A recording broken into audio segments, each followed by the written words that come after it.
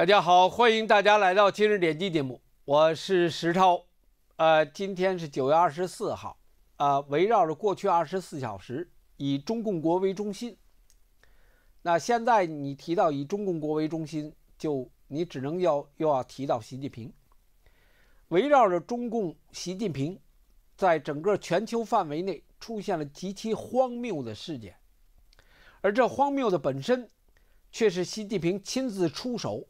表达出他生命品质的一幕，所以跟大家汇总一下，围绕着今天中共国在全球范围内发生的事情，当你汇在一起的时候，你就会说到，这肯定不是人，对，这肯定不是人。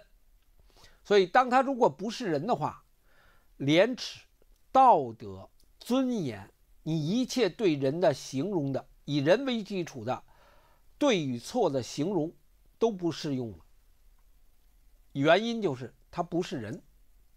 跟大家分享这期节目的下半部分。联合国人权委员会在过去的两三年里面，就被习近平就像长城饭店的天上人间的女孩子花钱给买了，买了买肉似的给买了。买完之后，美国退出了。联合国人权委员会，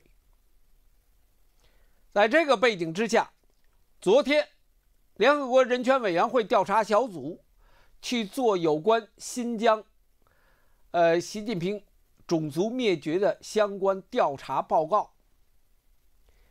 当联合国人权委员会的调查小组成员做报告的时候，呃，去的三个女人，大家看到下面的这个 “China” 的意思，用的是法文。在这个瑞士都是法文来的，旁边是智利的代表。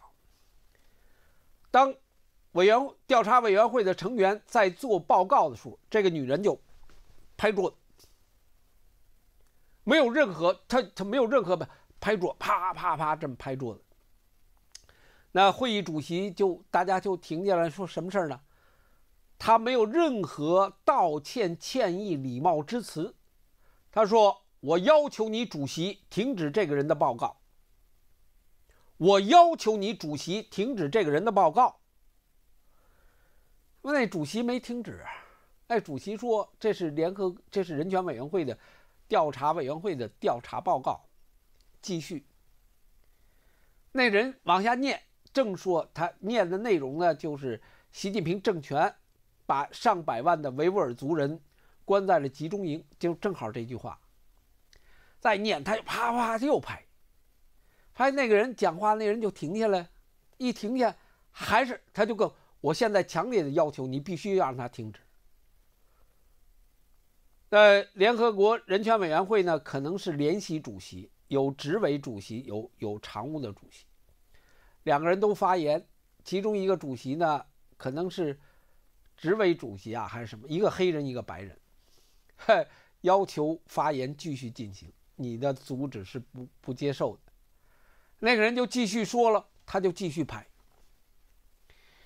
旁边这个是智利的这个男人，这是中国的三个女人，他年龄也就三十岁左右。哎，这是今天的大陆女人，哼，是不是？那李莲英做皇帝，把把女人都弄宫里去，不掐死她？他在瑞士，他难道不知道吗？对不对？他看咱今日点击可以随便看嘞，但他还是那东西。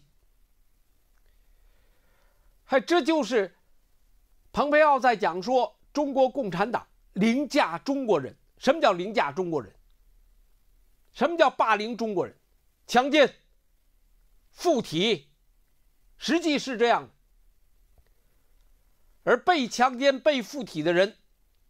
他失去了自己对生命的尊重，他失去了自己尊重的立足点，他觉得那是一份乐趣，那是一份生活。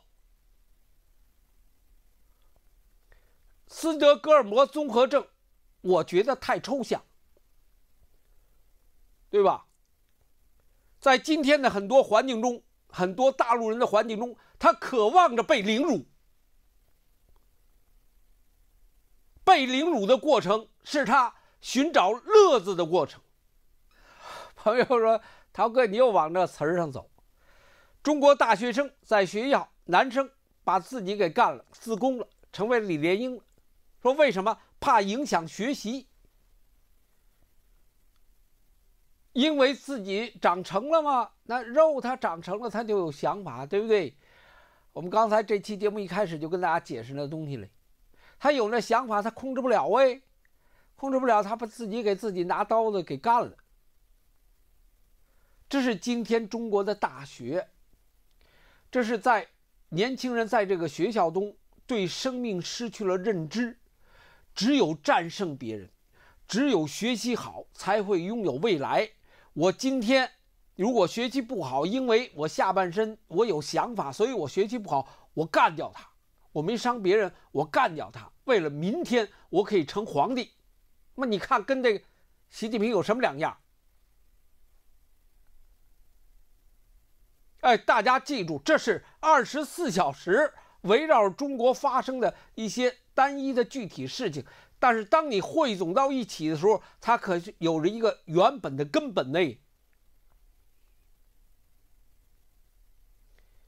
哎。这个东西就跟李莲英成皇帝不就对应了吗？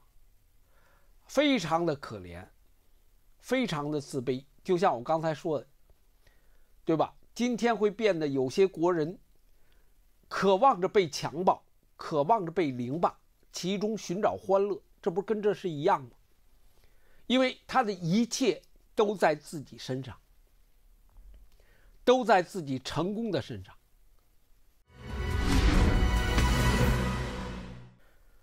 这刚刚发生的事情啊，中共国自定清华大学为世界一流大学，惹起了效益。我觉得就没什么可细细讲，没什么意思了。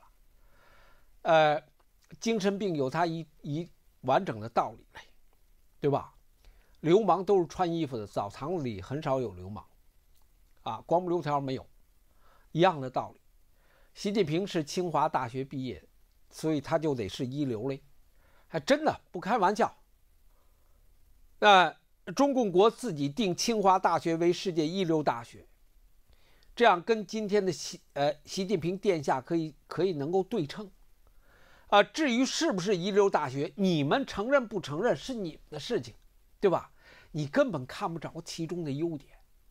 你我跟你说，能在清华大学出来的，今天的习大大称霸全世界，你能找出第二个吗？你没有，对不对？你能找出习大大如此伟岸、跟目空无人的一切吗？没有，对不对？他能弯能曲，能伸能直，能趴着能藏着，能掖着能躺着，他怎么着都成，只要他活着，只要你把他称为皇帝，这就是荒谬。这不仅仅是荒谬，对不对？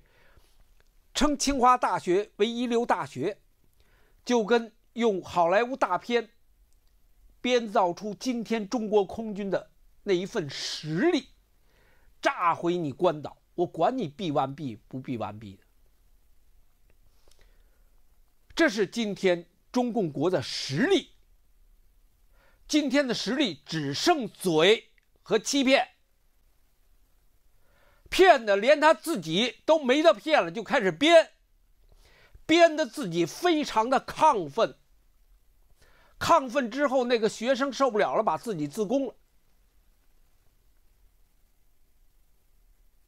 这些都是说人说自宫了，跟这有什么关系？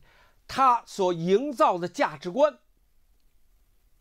那个学生笨蛋，学生要想明白了，说哦，他说感情你空军的力量是靠好莱坞编出来的，那我自宫我就惨了，对不对？我把自个儿给毁了就惨了。他没毁，他把自个儿毁了，他没想过来，所以是被骗的。整个教育的方式，人类的人的生活的价值观，把那孩子毁了。而中共的价值观是靠好莱坞的大片编出来，遭控打压人权。中国说了，我们高度保护人权。哎，在北京动物园里头，动物都关在笼子里头。而且定点给吃饭，定点给喝水，定点有人打扫卫生、扫厕所，对不对？定点打扫卫生，那是高度保护嘞，对吧？那个是高度保护嘞。那动物保护组织会呼吁说：“你们不成，你们在虐杀动物，胡说！这绝对是胡说！我操！我花多少钱养它们？我花多少钱造笼子？